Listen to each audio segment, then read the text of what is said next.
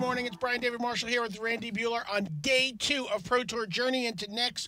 Round nine is about to start. Only two players are left standing at 8 0. They're Patrick Chapin and Josh Utter Leyton.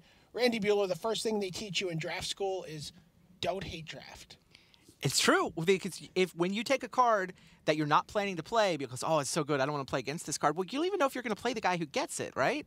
You don't know. You're going to get paired against somebody at random, and then they might not even draw it if you do get paired against them. So yeah, hate drafting is not normally the right thing to do. But because this is a Swiss tournament, these guys are the only two 8-0s left. They knew they were going to be playing against each other. And you know what? Pat Chapin was looking at Polukranos. He'd passed, you know, a fourth pick Goldenhine to Josh Utter Leyton. And so he put the thing in his sideboard. Josh Utter Leyton took Brimaz and put the thing in his sideboard.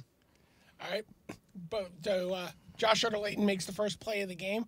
A turn three Deathbellow Raider in his green red deck perhaps an indication that things did not go perfectly for each of these players.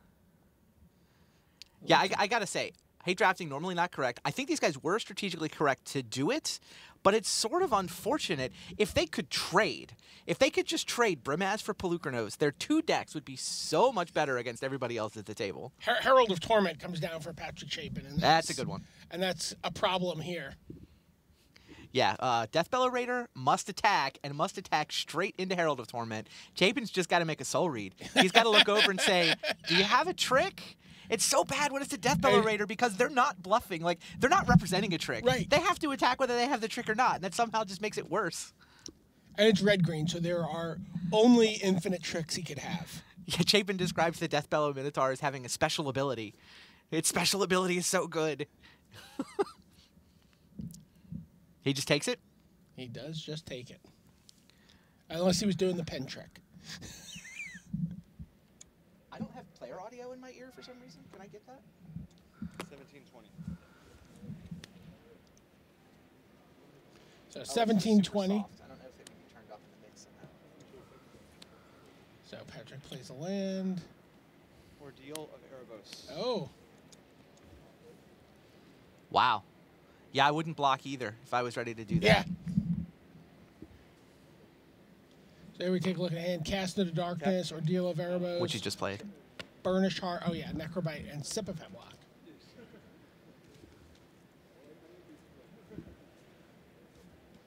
There you get a look at the Ordeal.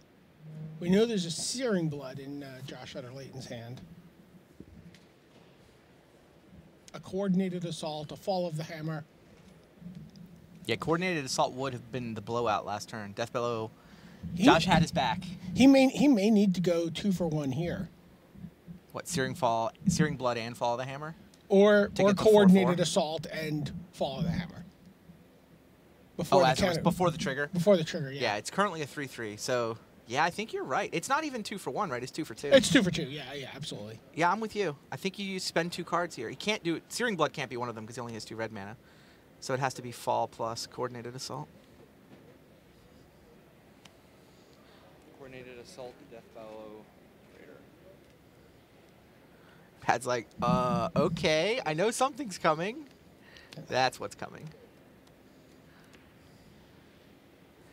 I don't think Pat has anything to do about that, does he? No, we look at look at Chapin's hand. He can't cast the Necrobite. Oh, he's one mana short. Using the regeneration ability of Necrobite. And uh, can merely play a uh, yeah. Fleshmad Steed. Man down. That Chapin. Or you can cast into darkness. Oh no. Yeah, cast into the darkness. Yeah, Deathbellow is now an 0-3 that can't block and must attack. So you can just kind of tap it and set it off to the side. Chapin can block it at some point in the future if he ever wants to. Two cards. There's a Swordwise Centaur. Turn five, right yeah, on schedule just, for just, Josh's deck. Exactly one turn off schedule, I think. Do you think his expected value is about a turn four for the yes. double green Swordwise Centaur? It's like turn three and a half. Burnished Hart and Fleshmad Steed. Both players just it's such a motley collection of creatures. Yeah. So now we're going to see Searing Blood, I assume, on the Burnished Hart. Yep. Yeah, Tap your nice. Fleshmad Steed. Take three.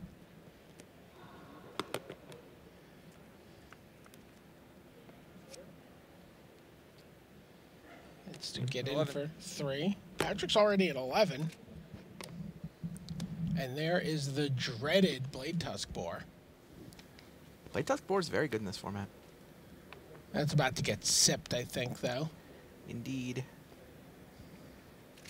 I mean, these decks are not spectacular, and that is, this is one of the reasons you're not supposed to spend your resources defensively drafting, right? Right. If you spend early picks just taking cards that are going to go in your sideboard, you wind up with less quality cards. Now, to be fair, the story's more complicated than that here. Neither player sacrificed much when they made those Right. those hate drafts. You know, Chapin had a very dry pack. Josh had a fairly dry pack um, when they counter drafted the mythics out of each other's decks.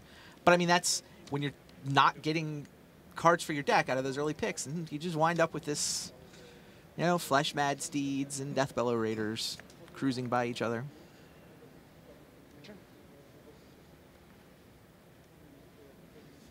Passes the turn with Fleshmad Steed ready to block. Yeah, and Necrobite. Was he going to go block, gets Necrobite, and gets He's going to get? Starfallen, yeah. Uh, Josh might be considering like the, the main. Yeah, he's considering the Preemptive Starfall Starfall? preemptive. Yeah, Wow. he wants to get in for five here and put Patrick on three. Necrobite, but that's going to regeneration's going to tap the creature. Yes.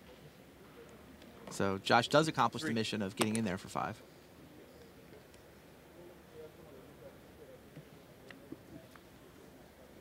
It's a swamp for Patrick.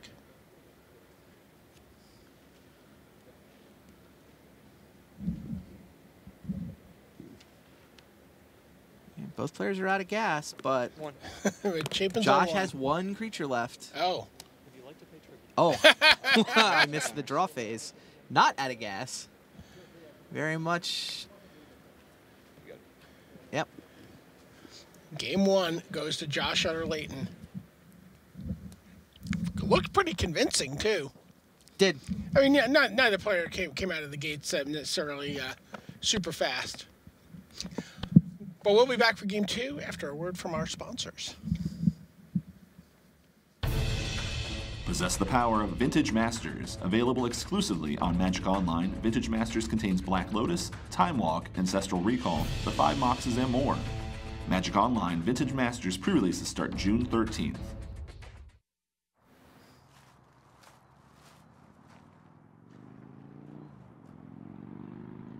Judge! Hi, how can I help you? How do you guys do that? Practice.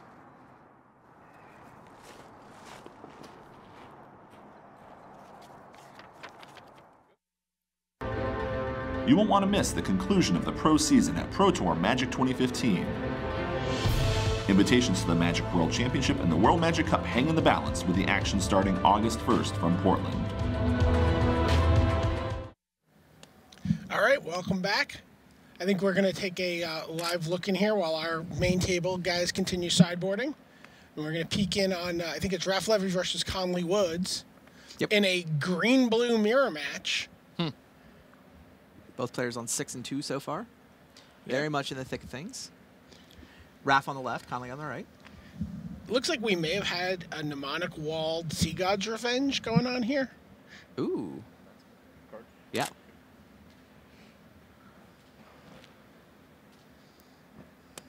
Do we know the life totals? 11. Let's see if we can get them. 11 to 10 sounds like.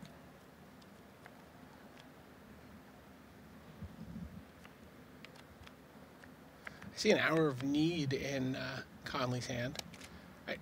Apparently that hour is now. So targeting the siren means he gets a scry trigger. He's also paid the strive cost. So uh, the wall and. The siren turn into a pair of 4-4 flyers.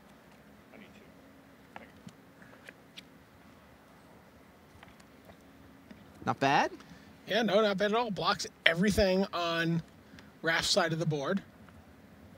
Not all, Okay, you know, okay. any of Raph's creatures on his side of the board. Sure. Now he chose to do that main phase. Uh, I think he wanted to scry. He wanted to make sure he got it in while Raph was tapped out. I mean, often the instant speed of that card is a lot of where the power comes from. Like they commit to an attack and then you surprise them Right. with your four four flyers. But Uh, a dissolve there would have been pretty. Exactly, exactly. Yeah, I think Conley living in fear of some sort of counterspell from from Raph Levy.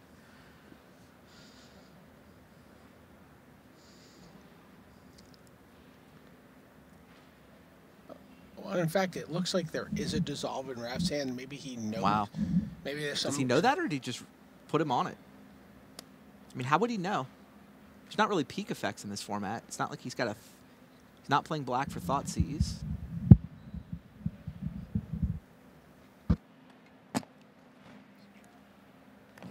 Oh, uh, it might it might be a wave crash Triton. That's a curse of the swine.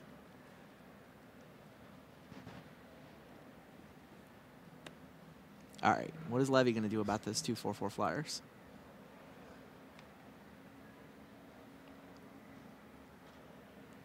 Did you say? Did we say Levy has curse of the swine? Those poor confused creatures.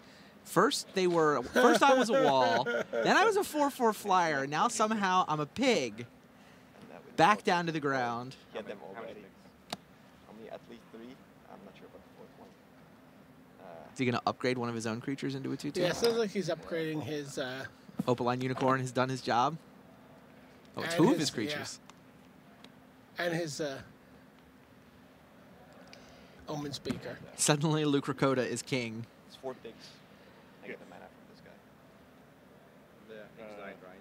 Yeah, but I get like, I target and I get the oh, mana. Sounds like Yuya Watanabe has taken game one from Jared Boettcher. dissolve, I get I'll let him figure it out. It's a good match.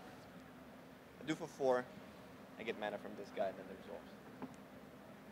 Just tap for this, four mana for this guy. All right, sounds like we're ready to go back on table A. Uh, Alright. So while, while these guys figure out. avec cette licorne avant de Ouais. résoudre cette Curse of the Swine, Okay, okay. okay. non. All right, well- Oh yeah, so this guy's exiled. Mais il est exilé. Go ahead. Keep you updated on that. I'm gonna touch that one. Let you know how that turns out. But sounds like Pat and Josh are ready. Supposed to be exiled in the first place. Great. So it looks like both players kept seven cards. Tormented Hero leads off for Patrick Chapin. Three times as fast as his previous draw. Rest of his hand's kind of slow though. Searing Blood and the second Mountain. Pretty Yeah. solid. Again, the rest of his hand's a little on the slow side, but yeah. And you're just going to Searing Blood that right now. yeah, Not let him get a third, play a third land for his Necrobite. Or, exactly. I don't want to give him a draw phase to. Dr- I don't even want to give him a draw phase to draw a trick. Yeah, He up, upkeep upkeep, seems sure. like the right play. Since the mana was untapped anyway, if he does have a two mana trick, get that out of the way now. Right, you at least time walk him there. This guy going. This guy's going. Pat's uh, mono black hand. No planes, he- but no white most- spells. He's mostly black. He's it's only like 10 playing 7, seven planes. Yeah. 10 7. That seems to be the Ben Stark approved ratio 10 for two color decks. Yeah. All the ancient. Yep. Okay. There's a Blade Tusk Boar. Uh, I'm gonna block uh, one of these here, the other two here, and then the other one here. So three, What? three. A three three here, a three three here. It's gonna become seven. So cast into darkness on the boar. So it just you know becomes like a, uh, take four. A little pinger. Yeah. Gonna get in for one a turn. Basically forever. Chapin on a 17 turn clock now. Here comes Arena Athlete. We know uh, Josh has a pair of Starfalls. Oh, wow. Oh, it's just the one Starfall. Looks like uh, Patrick just drew Drown in Sorrow. Yes, he did. Oh, nice. And decides to wait a turn, see if he can't get a little extra value out of Josh here. Yeah, I mean, he's taking three down to 13. That's fine. You definitely give him a turn to play another creature. He might consider even a turn after this one.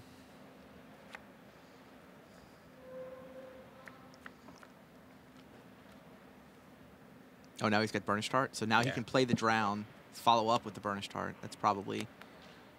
Plays Burnished Hart, planning to block and then activate, maybe? Yeah.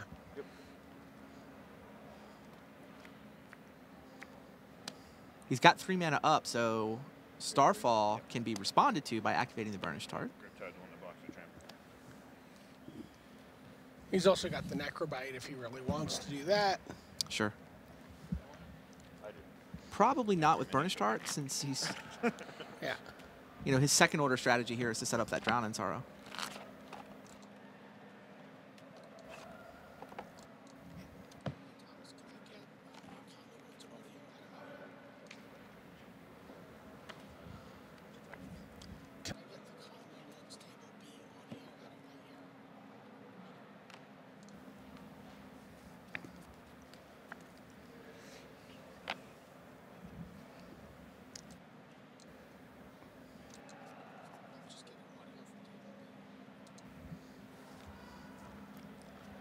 So Blade Tusk Boar, Rise to the Challenge, Starfall, Starfall for Josh Utter Leyton.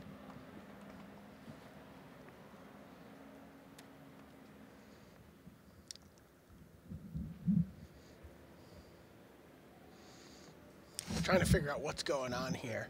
He's like, what is what does Patrick have? The turn you draw planes, that's your play. Hand back into play. Activate it. Sense.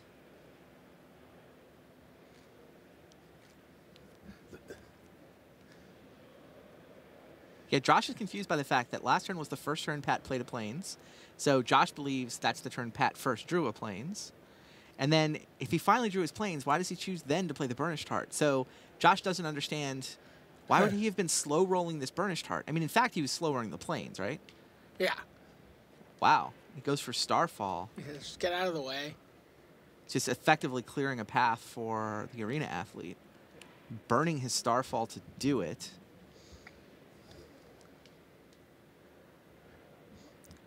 Patrick shocks everyone and goes gets Forest Forest. I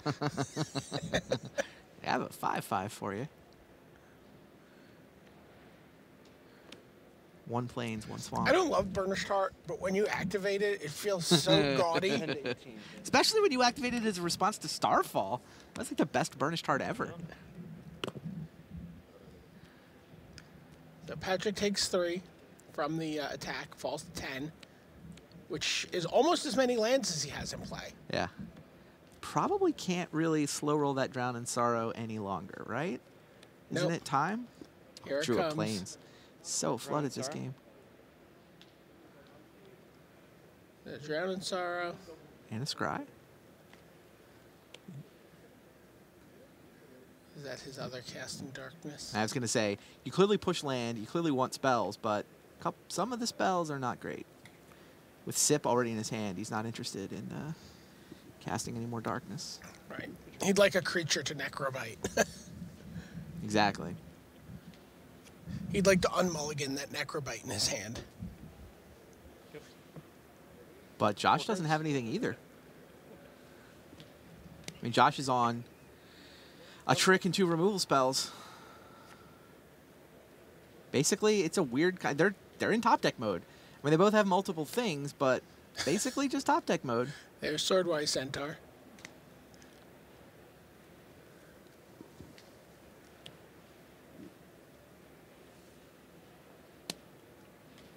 There's the rotted Hulk. That seems to win when fighting Swordwise Centaur.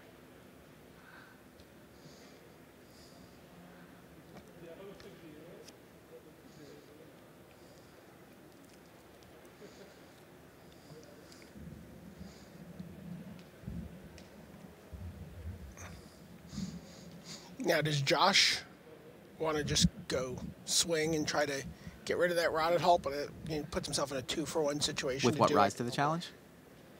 Oh, he is rise to the challenge. Yeah. Right. I mean, he's threatening. It got blocked, right? And now Rise makes it a five power first strike. But Pat, we know, has Necrobite. Yep. Although that's basically just a one for one. Since it regenerates uh, to the first strike damage, Right. it's removed from combat and it does not get to kill the Swordwise Centaur.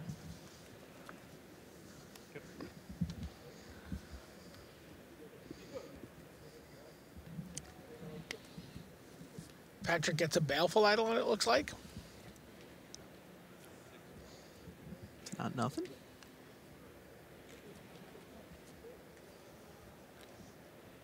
can't, it feels like he still he has to play defense. He can't really bestow an attack. No, I mean he, he's a ten. I don't even think you do. You even bestow? I think you just. I mean, it would be tempting to have two blockers here rather than one giant blocker. But he goes the one giant blocker route. I mean, it's the better long-term play.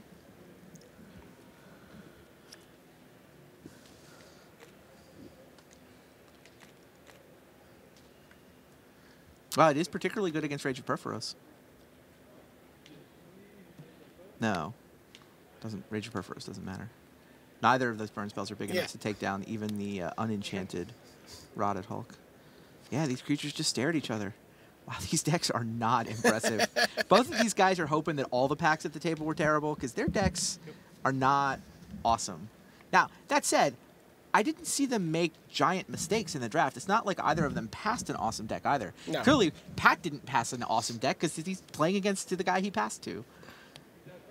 Sip of hemlock. All right, sip of hemlock on Swordwise 16? Centaur. Yeah, I mean, he's, it's clear that Josh is out of gas, so sure.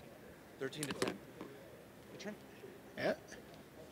And he gets in for three. Plus the two from the sip, so. Yeah. And no no play from Josh. It's funny, game one, they just kind of traded cards, traded cards, traded cards, and Josh had the last creature standing and won with it. Is Pat going to do exactly the same thing here? Trade, trade, trade, trade, trade, have the last man standing?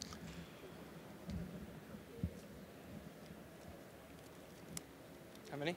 Three. Here comes Nemesis of Mortals.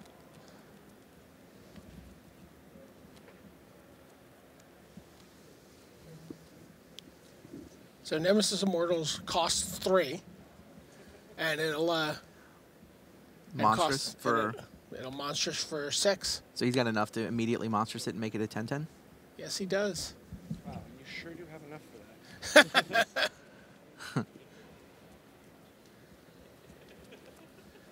But again, the Baleful Eidolon Yep. is going to keep that at bay. Prizel? Oh, but reprisal. Wow. First pick of the draft. It was. Pack one, pick one. Reprisal is quite good in this format. I think this format, talk about Blade Tusk Boar being good in the format. Reprisal is very good in this format. People like to turn, pile a bunch of enchantments, make Yeah. somebody gigantic, and Reprisal That thing keeps that in check. That thing kills one drops. Right, right. Aspect of Gorgon? Oh, jeez. gonna death touch. Speaking speaking of piling everything on one guy, that rotted Hulk has got super double death touch right now. I'm not sure that double death touch actually does anything. These are some fact, I'm sure it doesn't, but some, some mediocre beats, says Hey. Patrick Chapin. beats are beats. Yes. Yeah, I, jo- Josh Leyton would kill for some lukewarm borscht right now. Not the beats I had in mind, but what are you gonna do?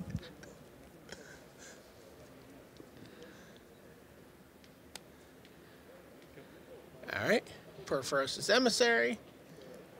Sounds like Ivan Floch has defeated Matej Zatlkaj on a back table. Zatlkaj seemed to think his deck was terrible. He was like anything but an 0-3 he thought was going to be a success. Attack. Speaking of Dauntless Onslaught. successes. Yep. Dauntless Onslaught turns that 4 power into 6, and that's enough. The lukewarm borscht gets there. So I think we're going to try to do. Uh, we're going to take a look at table D, which is going to be Yuya Watanabe playing against Rookie of the Year frontrunner Jared Snorlax Boettcher. So that's Watanabe on the right, Boettcher on the left. Oh, eh, Boettcher turning his creature sideways. That can't be good for you, yeah. Lightning Diadem is at its best in green red. Said I, I heard Hill. somebody say that.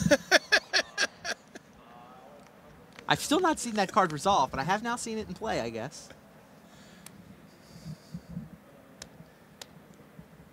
Oh, Triton Tactics. So first he tapped his guy with the Black Oak uh, to get a little bigger, but his Triton Tactics was going to untap it anyway. He doesn't uh, use the inspired trigger from uh, the Disciple of Deceit. Mostly blocking is what needs to happen Yeah, yeah. here. What what kind of Hydra is that on the top left of the screen? Is that uh, Heroes Bane. Triton Tactics was kind of a blowout there. Do we know what game these guys are on? Game two, Yuya's up a game. Yeah, Triton Tactics, I, I couldn't quite follow all the details of combat there. All I know is Yuya played Triton Tactics, and then Jared picked up three things and put them in his graveyard. That sounds about right. It's the Blue Firestorm. nice.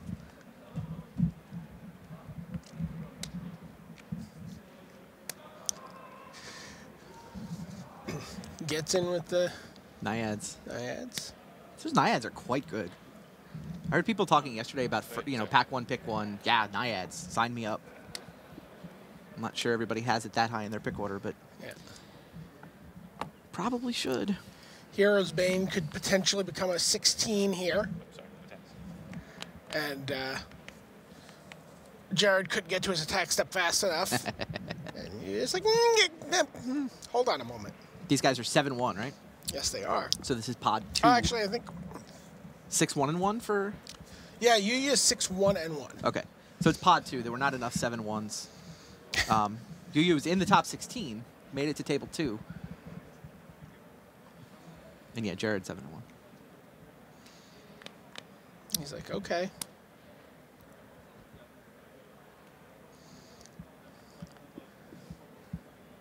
So it puts the black oak in front. So pumps once, becomes an eight. Yuya picks up a toughness. He doesn't trample as far as I know. Oh, he taps this guy. he wants the Oh. inspired trigger Yeah. on the way out.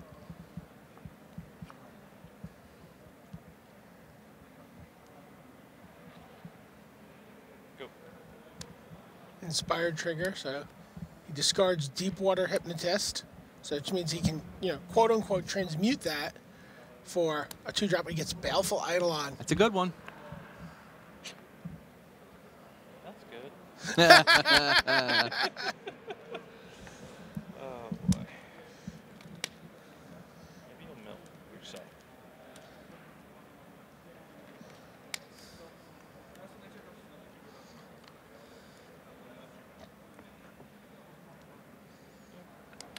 And you get to draw a card. Pretty sweet.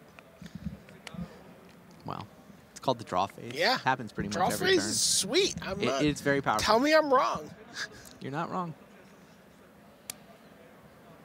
Seeing lots of land in play in these matches.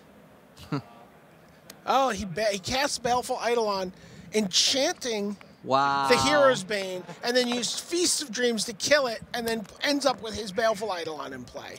Wow. That's how two-time Player of the Years play Magic. I like it. I mean, he could have left the Eidolon on defense and pointed the feast at the Oakenheart, but this way he guarantees there's- no tricks. There's so no much less that can shenanigans. go wrong. here. Exactly, exactly. It's like any kind of removal spell to kill the Eidolon would have been such a blowout that Yuya is like, fine. I am not willing to to risk. I'm not willing to bet my game on my ability to block with my one-one. Oh, is he gonna trigger again? Is he? He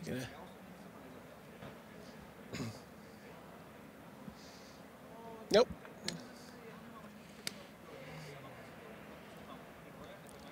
Did Nimbus Naiads off the top? Yeah, it looks like. Yeah.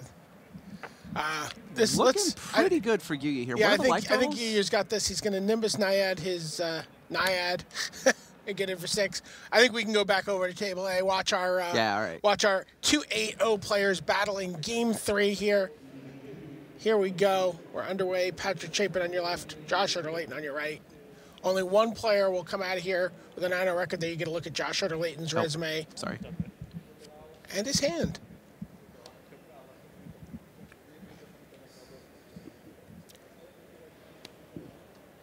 Yeah, Watanabe did win that game. Yeah.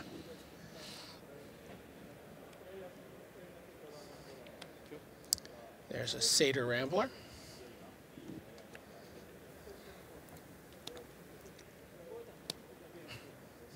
Pillar of the War cast into darkness. Does that count as a combo? probably doesn't count. Does allow you to attack for one. All right, attack into the Pillar of War. Hmm. Yeah, coordinated assault. I think Patrick's content to trade Pillar Yeah. for a card. Yeah. Especially a card like coordinated assault, which could just be exponentially worse. Yeah, the other nice thing that does is it forces Josh to tap mana, uh, Right. which means he doesn't get to develop his board by playing another creature.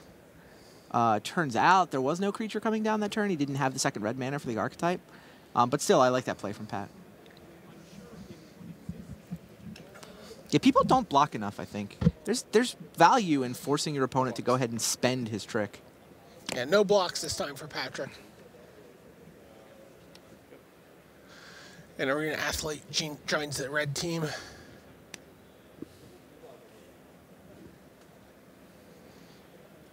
Block there would have been a two for one, right? Josh only had the panoply as a trick. Yeah. So it would have been uh, two cards believe to trade for the three three vigilance guy. believe we're going to see, yes, bestowed Six. Oh my! Herald of Torment, attack for six vigilance. and that's why you don't block. Maybe you want a two for one your opponent, but you know what's better? Yeah. Gigantic Braining him vigilance flyer. repeatedly about the neck and shoulders. Indeed.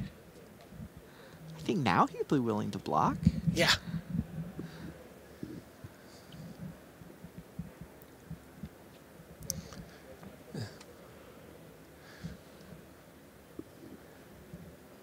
Not sure I can see.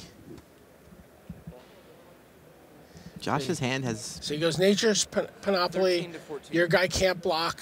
Get you down to I got 13. 12, 12, 14. Patrick falls to 12 from the Herald of Torment trigger. yeah. Oh, oh boy. What did he draw? Sentry of the Underworld. Have you at eight? I have you at eight. Interesting. I have nine power worth of flyers now. Yep. No, he's not. He's playing defense. I mean, arena athlete is the scary thing that's going on here, right? A cast of Cast of Darkness at Cast of Darknesses. Yeah, we saw a couple players yesterday go for the kill immediately and have it not work out. Pat's played this a little bit on the conservative side. I like his line. Yeah, he's like, I will take one here, maybe. And no. And Josh was like, I'm not even going to throw my guy away here.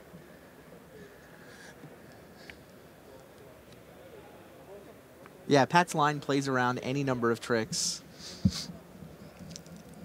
Even if Josh could kill kill the uh Oh, and he had Dauntless Assault to win it that turn anyway. Yeah. Wow. That game was a blowout. Yeah, that was just resoundingly Patrick Chapin. Patrick Chapin, the last man standing at King 9 of the 0, Hill? King of the Hill. He will be in the feature match again next round. We're, we're, we're going to see a, a Hall of Famer in action next round, guaranteed. Yeah, true king of the hill at this point. Last Yeah. man standing, the only 9-0 in the tournament, first place all by himself. And then you get a look at the floor, and you can see that the only match still ongoing is somehow this green blue mirror match. Tell me that's not the same pig from when we last checked in. What game is this? Game two. All right. So it's a new pig. Conley won the game one. Okay. So commune, uh, commune with nature from uh, Conley, of course. Is that his graveyard spread out in front of him? sort of vintage dredge deck style?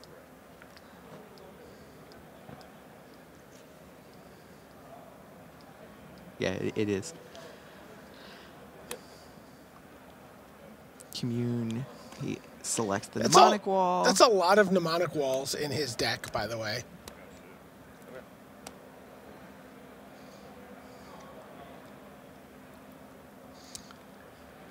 So he casts that. He gets Sea God's Revenge. oh, is that time of need?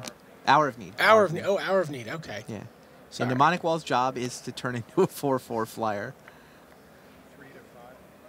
I'm at five, he's at three. Conley just leaving the hour of need face up. His opponent knows he has it. No reason to. There's all sorts of stuff going on here. Con- Conley won that last game. Yep. Those are some life totals. Three to five.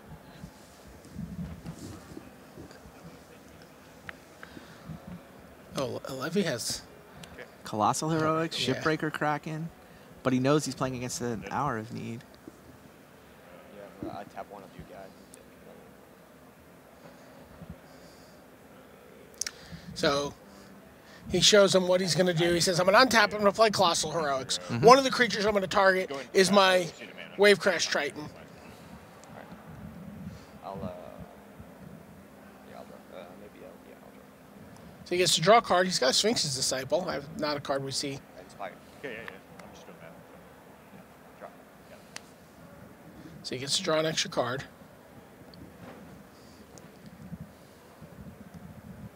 So you take these two. Daraf has done the trick of telling his opponent that he has Colossal Heroics, hoping to prompt a concession, and Conley is making him go through all the motions. Okay. Conley's like, yes, I've, I've done the same math you did, and you're, you're correct. You have actually done the math. I, w- you win. So, we're going to see a game three. Yeah. I, I, I think Colossal Heroics is one of the, the best limited cards in uh, in Journey into Nyx. It is a good one. I'm not even sure it's the best green strive card though. Like the rare that lets well, you I mean the rare, the rare. fight. yeah. I, I don't really when I'm when I'm talking about the best cards, that's always rares excluding rares, you know, right. because you just see them so so infrequently. But Yeah, like, I find that there aren't, you know, the strive cards definitely vary in power level. Colossal Heroics, we've seen, I think, two of the best non-rare ones here. Right. Between Colossal Heroics and Hour of Need, those might be the two You- best. now I understand you were a little lukewarm on Hour of Need in Minnesota. Yeah, I. Hour of Need, it is situational, right? It has a dramatically high variance. It doesn't do anything if you're if you're behind on board. You have to have creatures, and in I mean, the dream when you take a card like Hour of Need is that you're going to be able to two for one your opponent. And so, really, sort of assessing the power level of that card comes down to how often am I up a card? Because inherently, the card is card disadvantage. Right. I'm down a creature, and I spent this other card, and I wind up with a four-four flyer. And it's like if all you're doing is converting one dork into a 4 4 flyer, that's not actually worth a whole card. But it's an instant. I think the, the the time it really started to go up in my value is sort of starting to play with the card and seeing how often you know they'll attack into you and you sup- your surprise 4 4 just eats their attacking creature. Right. So now it's not card disadvantage anymore. Now I've effectively traded one card for one card and upgraded my guy. And then, yeah, sure, when you get to actually pay the strive cost, upgrade two guys, or you know, the dream is I'm fizzling your removal spell and eating your blocker, or I'm eating you're eating your attacker, or I'm eating two attackers. Then it really starts to kick in. Yeah, there's also times where you you actually use it on one of your opponent's creatures. Sure, downgrading it to a four four flyer. Downgrading to a 4 4 or fizzling a trigger. Mm -hmm. You know, uh, I, I used it to fizzle a Felhide, uh, Felhide Spirit Binder trigger. oh wow. So my opponent paid the mana, Uh huh. You know, on the Inspire, and then it was like, okay, yeah, you have a 4 4 there. You know, it was Yeah, the top, the the potential things that you can do with Hour of Need are, I, I think, were always immediately obvious. But yeah, you're right. I think I underrated it initially because I underestimated how often you'd be able to get some other sort of card advantage by the timing of it. Right. But but Savage Surge with Kicker, which is Colossal Heroics. Savage Surge with Kicker is yeah much. It's much e- less situational. Colossal Heroics. It's just easier to get off a good Colossal Heroics than it is to get off an Hour of Need. And like uh, Colossal Heroics is a damned if you do, damned if you don't card. It's like attack with everybody. Right. it's like no. you wanna okay. block? Yeah. No. Do Do you you want to block? I'll blow you out. Yeah. Oh yeah, you're not. Okay, well I'll blow you out when you attack back. Right. You get a look. Everyone in the feature match area just waiting for this last match. Yeah. The other thing that Colossal Heroics does that Hour of Need doesn't do as well is triggering heroic stuff. Yeah. Like Oh, although I've seen I've seen people. Uh, uh, one of the first times I saw it play, someone upgraded their Phalanx leader and one other creature with Hour of Need. Okay. and had other You still get the creatures that all got the heroic trigger. Sure. But you often, if you have a heroic guy you're pointing stuff at, you All right. usually don't want that creature to go away. We're underway, and that is Yep. Yep. Good. okay. What's the creature in play there for Is Conley? Renowned Weaver? Is that what it's Oh called? Oh, yeah, yeah, Renowned Weaver. There you go. I couldn't tell if it was that or the Satyr Grove Dancer, but I guess Yeah. it would have had a counter on it if it was the Grove Dancer. No, it came down turn one. Renowned Yeah. Weaver. Okay. Wave Crash Triton. Mm. The- oh wow! Look at this. Huh. We're going right. We're going right to four, and this is one of the things that you can do with Hour of Need. You can also go very aggressive with it, You can. Card disadvantage, but and we know that with all the mnemonic I walls was in just gonna Conley's say- deck, he can actually recoup that card disadvantage. Get the hour four of need four back. flying mnemonic walls.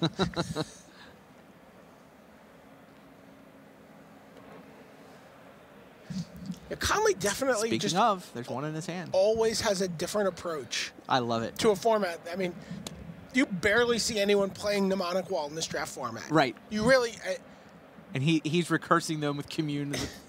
and Again, we have the hour of need fighting with Curse of the Swine. Hilarious. This interaction has come up way too often. I hear Godly say this interaction has come up way too often. It's so funny. Like, Con- there it is. He's like, oh yeah, well I'm gonna upgrade my pig back into a bird.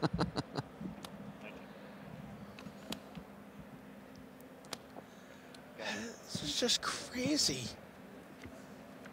And there's his sixth land. Go.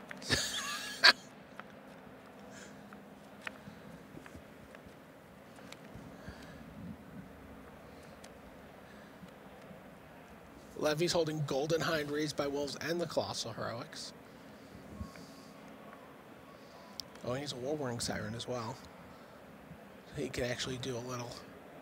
He can get himself to do undo a little bit of that uh, bird damage, but you know he plays uh, Nessian Asp, Yep. and that gets uh, countered, Nullified. nullified.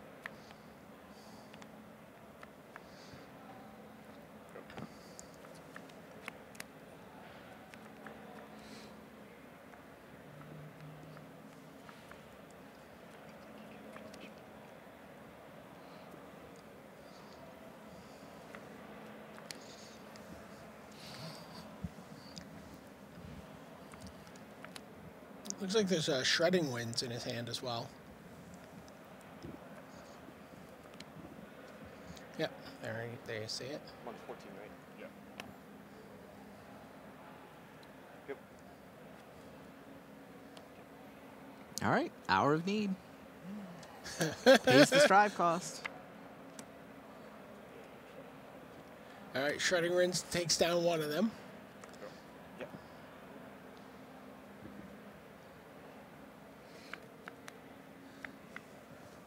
In from the sideboard, I'm sure.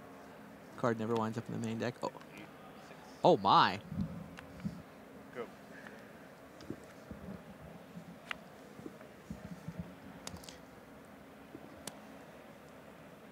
There's raised by wolves. That's going to tap that down. Wolves. Wolves, pigs. One, two, three, four. Four. Four damage, right? Wait, uh, it's four. You took one. Yeah, you took one. Yeah.